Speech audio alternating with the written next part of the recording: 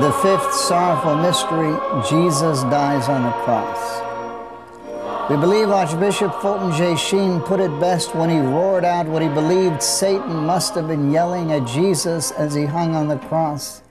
If you're the Son of God, come down from that cross.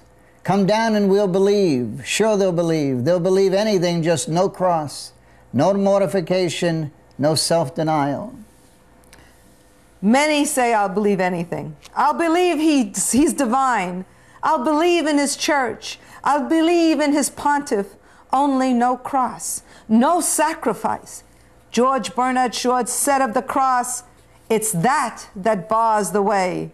Sure, it bars the way. It bars the way to hell.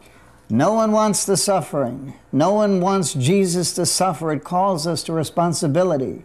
If he could do it, we have the responsibility to do it also. But he was God, but he was also man. He looked at his mother and he looked at his beloved disciple and he said, Mother, here is your son. Son, here is your mother.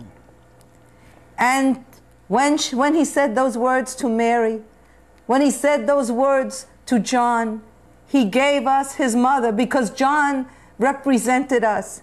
She is our mother and she is co-redemptress. No one who has lost a child can tell me that Mary did not suffer the pain of Jesus on the cross.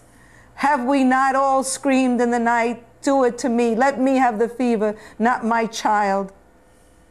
Was Mary any the less?